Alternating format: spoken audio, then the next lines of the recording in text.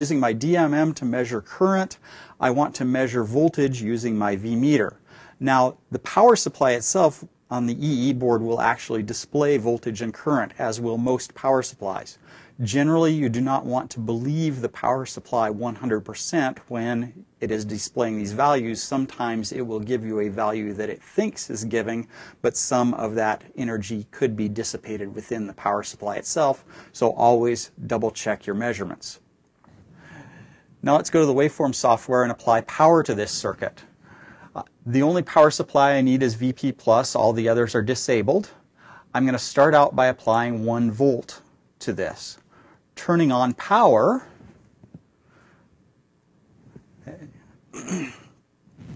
getting about a tenth of an amp. Let me reset my DMM. So my DMM is giving me about 90 milliamps. My voltage is about 1 volt. That provides me with one piece of data, voltage versus current.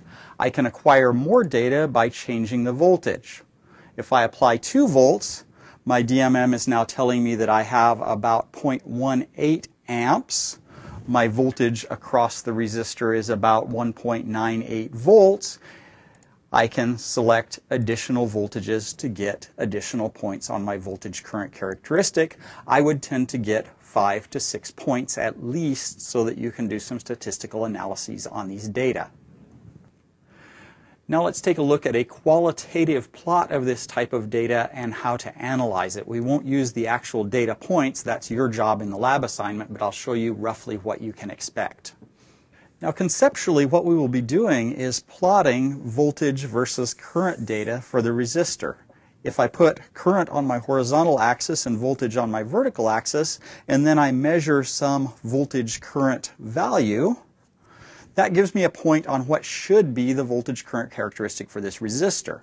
If I measure another point, okay, now two points define a straight line, I can draw a straight line through these points. The slope of that will be the resistance R. The problem is that two points exactly define a straight line with no uncertainty whatsoever. However, we have no feeling as to whether these points are in error or not. We can do a better job if we acquire additional data, even though that data may not lie exactly on our line. So now we have additional data to decide what the best straight line is that will fit through this.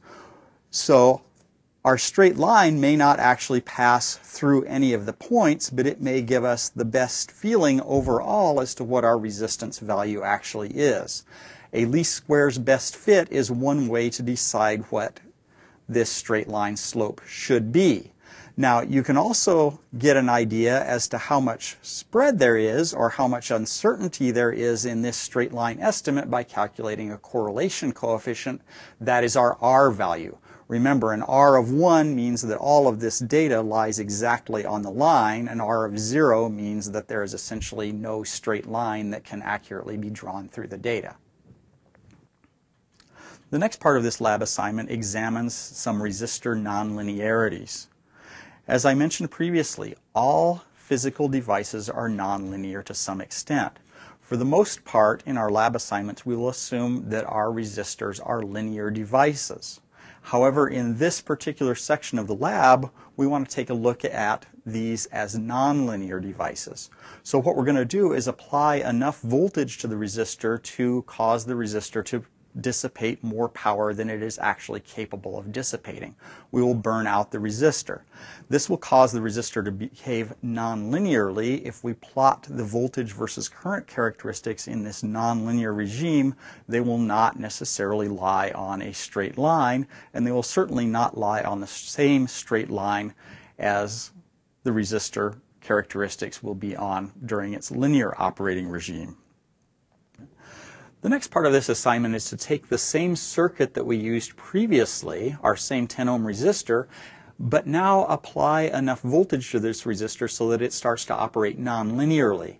Now we're going to go ahead and plot the nonlinear data and see that a straight line does not necessarily match well between the linear and the nonlinear regi regimes. Okay, so let's apply a bunch of voltage to this resistor. Okay, we're now applying power to the resistor. We have about a half of a volt applied to it.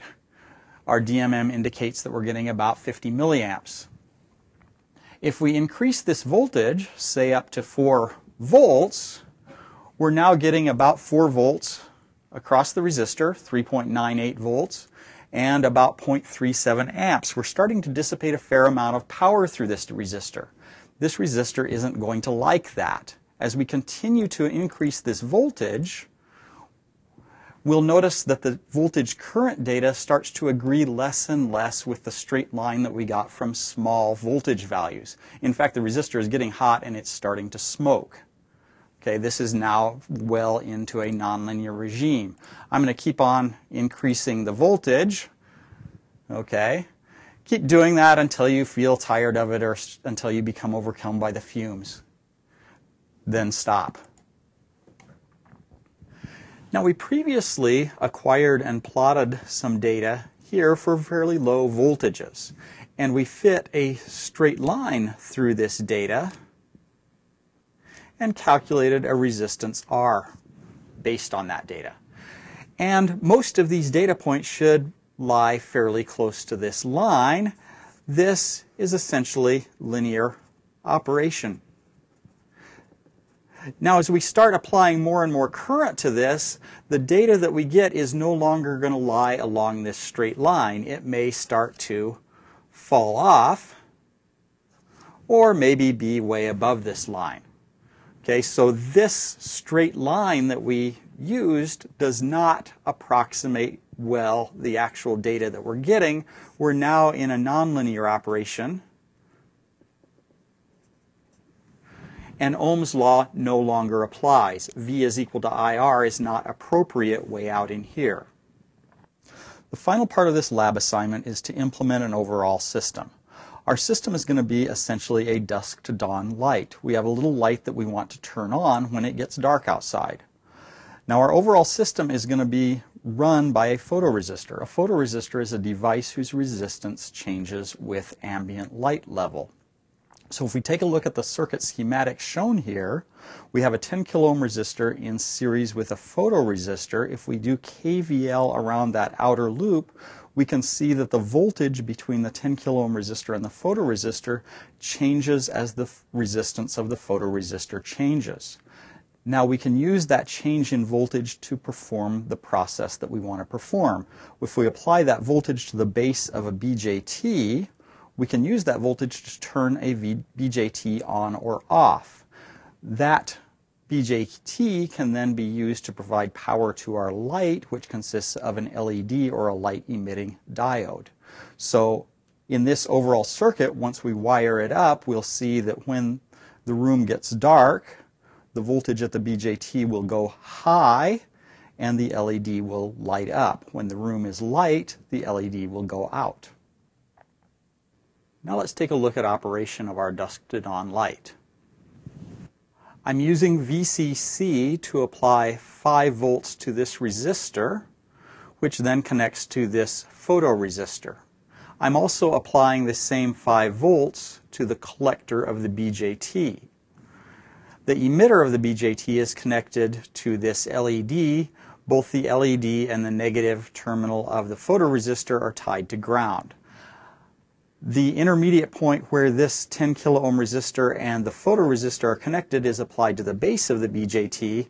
As this voltage goes high, this light should turn on. Covering up the photoresistor should cause this voltage to go high.